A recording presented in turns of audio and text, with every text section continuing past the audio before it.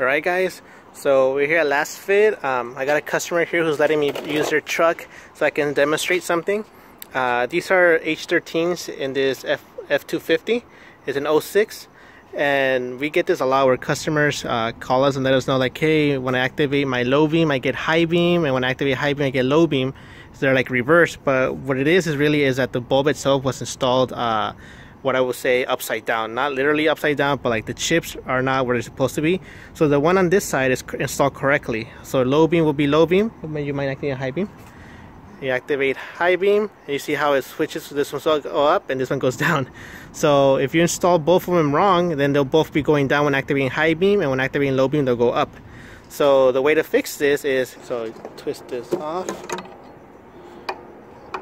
And as you can see this is what I mean. This is how it's installed. So that top one should be the one on the bottom and the bottom one should be on top. So it should be installed like this.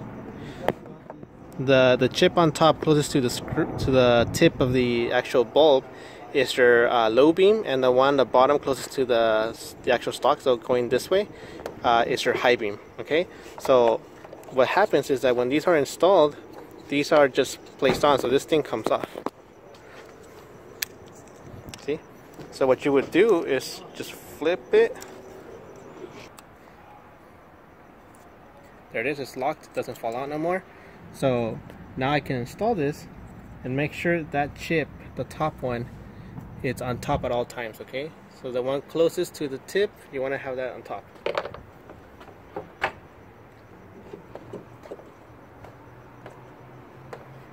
So the cool thing about this is that if you want to make sure double check your work, once you lock it in place, you can actually just take off the bulb.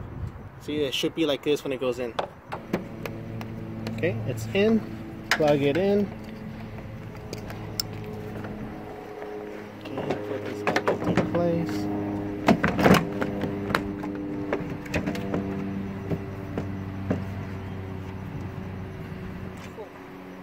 Alright, and now I'll light it up. There you go. That's how it should look. Can you activate the high beam? So remember, this is the one we changed. So there you go. Both of them go at the same time. You can go low beam now. there you go now it works that's how it should be okay so if you run into this problem now you know how to fix it and this will be the same thing for any of our dual beams if you notice having this problem it just means it's installed backwards all our dual beams are pretty much uh, can be uh, the adapter on it the, the one that goes into the socket usually are removable.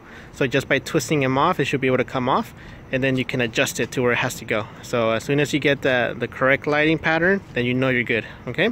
So that's for today. And uh, if any questions feel free to let us know and we'll answer them all right? So there you go. 06 uh, F250